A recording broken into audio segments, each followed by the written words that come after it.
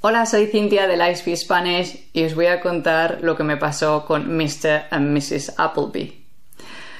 Cuando yo trabajaba en, Inglaterra, tuve muchos trabajos, pero uno de ellos al principio era de repartidora. Eh, yo repartía una revista y tenía mis clientes regulares que me compraban de esa revista. Y uno de, unos de mis, mis clientes regulares eran Mr. y Mrs. Appleby, que era una pareja mayor que pues eran entrañables. Pero mm, siempre me decían algo que lo decían con cariño, pero yo no entendía por qué. Y me decían cosas como, You're alright here, you're fine, you're fine here.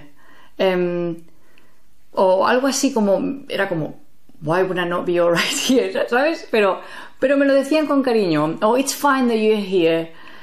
Y claro, eh, un día, em, obviamente vieron mi cara como de, ok, thank you.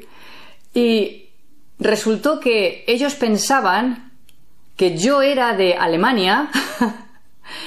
y claro, se sentían mal por la referencia, sabes, de Alemania y la Segunda Guerra Mundial y querían como hacerme sentir bien en Inglaterra y no sentirme incómoda por ser alemana.